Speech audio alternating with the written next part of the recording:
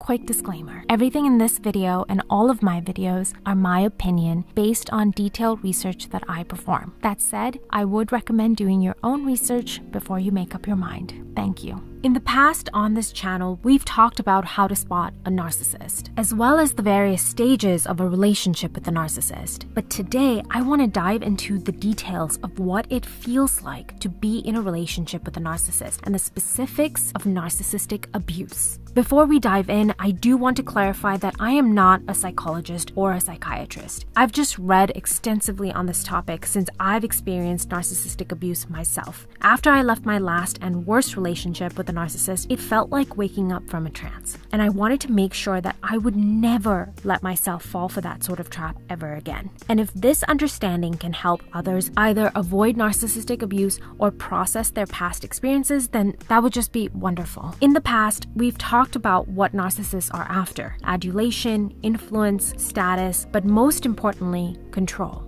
In order to gain control over people, narcissists first appear to be the most charming, easy to get along with people. They come off as very likable. In the beginning of the relationship between Harry and Meghan, we saw Meghan turning on the charm, playing the perfect part of a woman ready to take on the role of one of the family with Harry.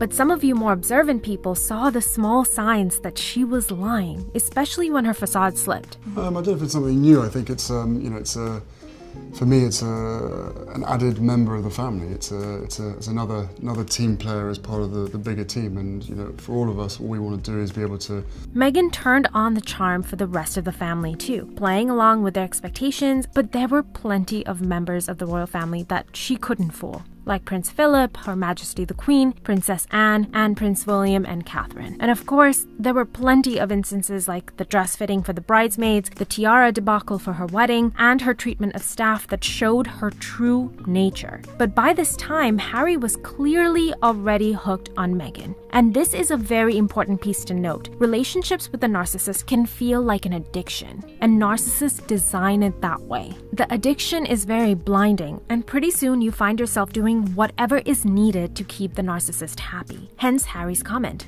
what Meghan wants, Meghan gets. Since Harry was so blind to Meghan's true nature and everyone else was so appalled by her behavior, I'm sure to Harry it must have been so shocking that his family didn't love her the way he did. This is where the poisonous words of a narcissist start working overtime. When a narcissist fails to convince someone how absolutely wonderful they are, in this case, Harry's family and friends, the next step is to cut those people out by labeling them as toxic or vicious, or in this case, racist. And to a confused Harry, who is utterly beguiled by Meghan, racism probably sounded like a reasonable answer for why his brother, his father, his grandfather, his aunt, and so many other people were telling him to take it slow with the woman of his dreams. Narcissists have this unbelievable talent of reading people, identifying their fears and insecurities, and then fiddling with their fears to control the person. Like I've mentioned before, Meghan quickly realized that Harry had not properly processed his mother's death and knew that she could press on that sore point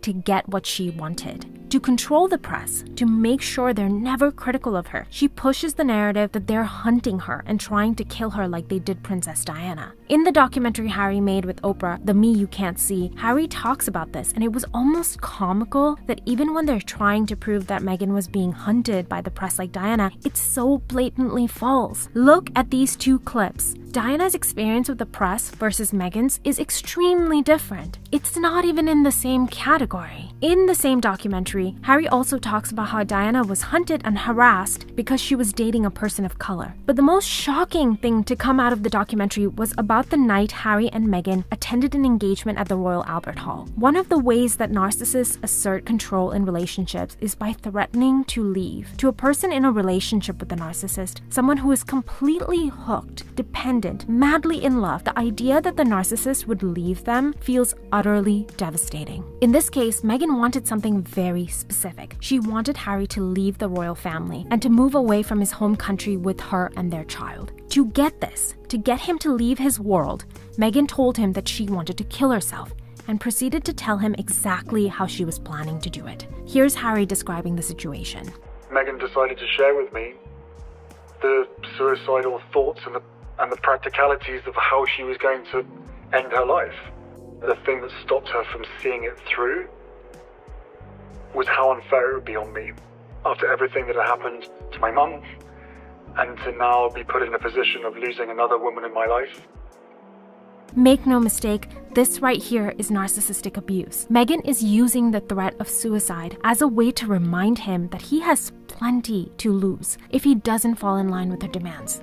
It's a very cruel card to play since I'm sure it triggered all sorts of fear and trauma for Harry. And I'm sure this isn't the only time that Meghan has used similar threats to exert control over him. I completely agree with Candace Owens here, who said in a tweet, I cannot say enough that Prince Harry is in an emotionally abusive relationship. Meghan has groomed him to believe that she is his mother reincarnate. Only this time, he has the chance to save her. This is an incredibly sad situation, and during the documentary, we can see just how unraveled Harry really is. Everything has changed about him. He thinks the press is racist, he says his family was never there for him when he was mourning his mother, and that he didn't go to therapy until Meghan pushed him to do it four years ago. He also says that he's never really enjoyed being a working royal and that he felt like he was treated poorly by his family, sent wherever the rest didn't want to go because he was a yes man. And finally, he says that flying into London, the city that's been his home all his life, has always been triggering. But there are so many inconsistencies here. It was reported that he had said that he'd gotten into therapy seven years ago and that it was his brother who had pushed him into doing it. During a conversation between him, William, and Catherine for their mental health charity Heads Together, he said that William pushed him to talk more about their mother's death. I always thought to myself, you know, what's the point in bringing up the past? What's the point in bringing up something that's only going to make you sad? It ain't going to change it.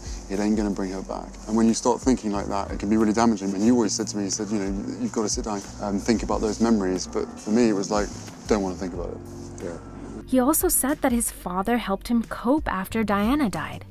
As far as his work, he always seemed to enjoy himself, and photographers that traveled with Prince Harry always said that he had a great relationship with the press and always seemed to be the most engaged. This is yet another consequence of a relationship with a narcissist, and that is the rewriting of history. Harry himself has admitted that he did not feel trapped in his life until Meghan helped him see it that way. As part of exerting control in a narcissistic relationship, a narcissist will convince the person that you need them, that they've rescued you from your misery that you are under their care and they will protect you. It's a strange dynamic where to the narcissist, you are their property. You are not an independent person with a will of your own. No, you belong to them and you need to listen to them because they know better and have your best interests in mind. It's this manipulation that has changed Harry from an independent man to Meghan's lieutenant. He is her foot soldier, seeing the world as she's defined it for him and looking at his family, friends, and his past as she's described it to him. So if it feels like we don't recognize Prince Harry at all, it's because he is 100% under the control of a narcissist. The thing is that Harry was someone who invited all of this in. It's very clear that Harry has not been in a healthy mental place since his mother died.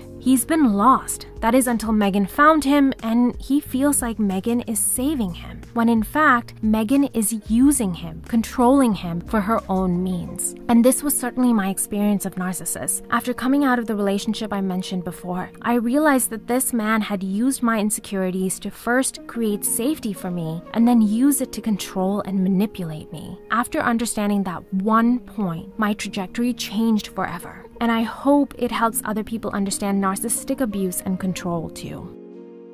Well, what do you think? Did you watch the Me You Can't See documentary? And what did you think about the details Harry shared about his relationship with Meghan and with his family? In a separate video, I want to look deeper into Harry's experience of his mother's death and how and why it has contrasted heavily with the way Prince William has handled his grief. If you would be interested in that video, please let me know in the comments. Thank you for watching, everyone. If you enjoyed this video, please share, like, and if you haven't already, subscribe. Also, a big thank you to all of my patrons. Thank you for your ongoing support. I really appreciate it, and I'll see you next time.